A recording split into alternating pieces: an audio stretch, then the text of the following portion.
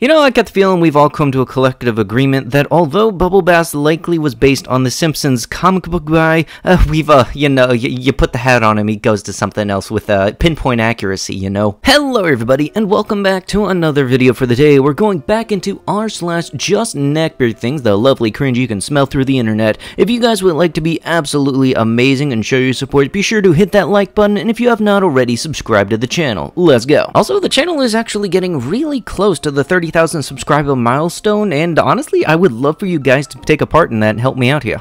Joke's on them. They're missing out. Whatever. Oh, joy. Look at this bad dude. He's playing something that can be played again. You know you can't redo that party. Teacher, what are you laughing at? Me, nothing. My brain, milkshake. And you know the best part is, the milkshake gets more suckage than the people it's making fun of. An European samurai. I really have loved Japan since years and years. I made this pic to show some love and respect for Japan, and to thank it for its inspiration. I can understand the whole message and everything, wanting to show respect for a culture and everything, but maybe don't do it when you look like you went to Walmart to get all the bits, or you know, whatever the European counterpart to Walmart is. Okay, you know what? I think I need to go out and just quit this I think I downloaded the wrong Inspector Gadget movie. I can be your angle, or you are devil, uh, whichever one it is, it's not going to involve a dictionary. Because, geez, the spelling alone's going to leave people in purgatory. The funniest part about unlikable geek men is they really are fully convinced people don't like them because of their hobbies.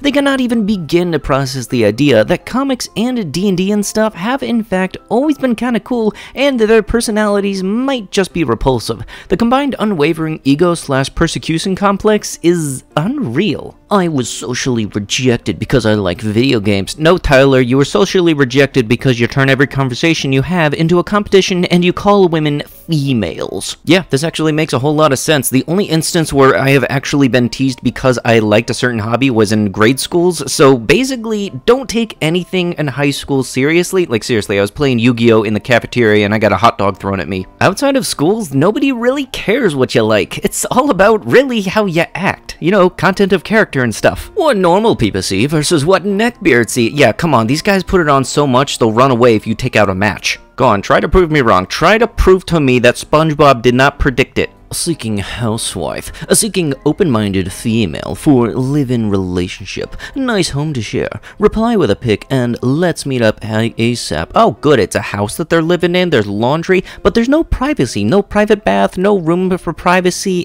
no, mm-mm, great, yeah, sign me up. Eh, you know these were about to resurface sooner or later. I'm honestly still surprised that people are trying to price gouge these things on eBay for like $30. Like, it's ridiculous. Like, like, come on, I just want to try a little bit just because I'm curious about this, okay? Meant be fine as heck, and then boom, rainbow light up keyboard and two monitors. And then boom, even more fine. I wouldn't say this is really a neckbeard thing, but I will say for a fact that it is a bit like a drug in the fact that once you have one thing that does like the color cycling and everything, you're gonna want everything to be doing that. I don't know, I have my keyboard set to static blue because, you know, it's distracting. But, you know, some people are kind of nuts on it and want everything to be that RGB blue rainbow kind of flashy thing down to their dog being that color. I'm honestly still waiting for Trevor Wallace to do a video like that. You know, come on dude, guys that like RGB color palettes. Came for a 14 year old girl and got munchies on me. I really hope this is an episode of Dateline, or To Catch a Predator, one of the two. When SJW say, this anime is junk,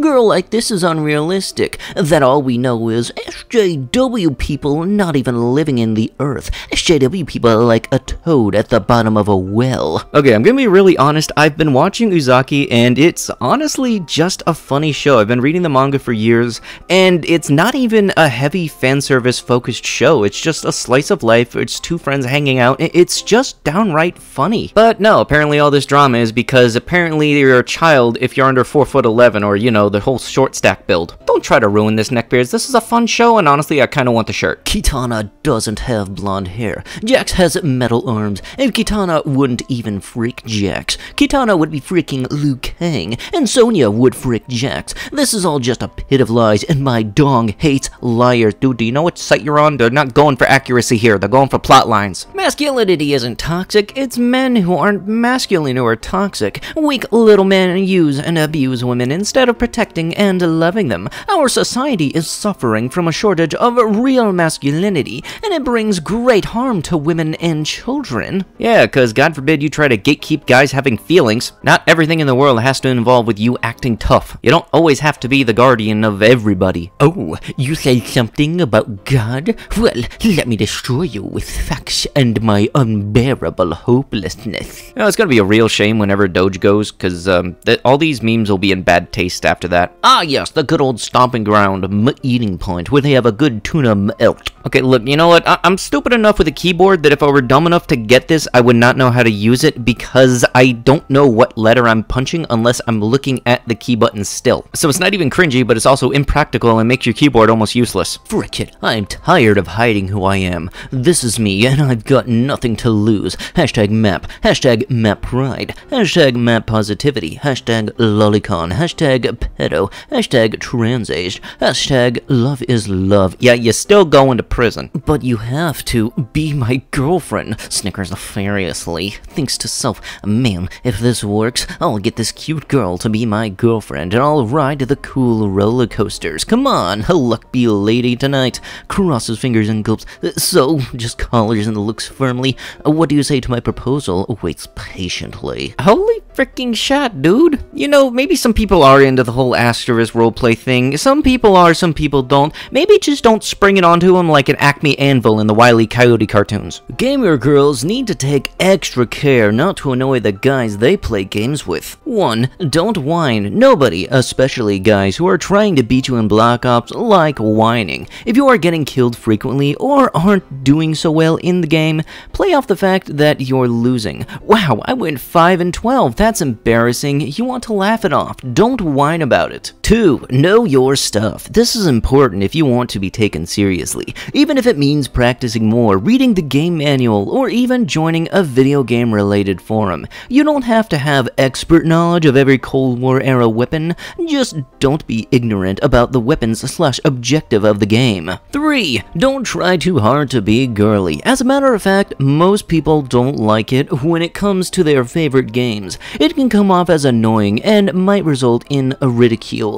Ah, yes, you know, the good old don't be yourself, conform so that you just fall in line kind of thing, right? Stuff like this is the reason I don't like to really play online multiplayer games anymore. I used to be absolutely obsessed with Destiny and Destiny 2, but unfortunately the community and all of their elitist stuff, like you need to be this power level in order to play our game just so we can get it done as quickly as possible, not actually enjoy the game, is why I kinda stopped playing and haven't really updated PlayStation Plus. I have thought about Fall Guys though, because there isn't really a community developed for that yet. Serves you right for trusting a woman. All women cheat. They're biologically programmed to sleep with the alpha. If you're no longer alpha, they're no longer sleeping with you. Throughout human evolution, a child who hits roughly age 3 can be raised by the community. This is why women biologically lose their emotional bonding to a man once the child can be raised by the tribe, as they don't need you in their life anymore, unless they are sticking around for materialistic reasons. Love is a drug addiction to dopamine released during organisms.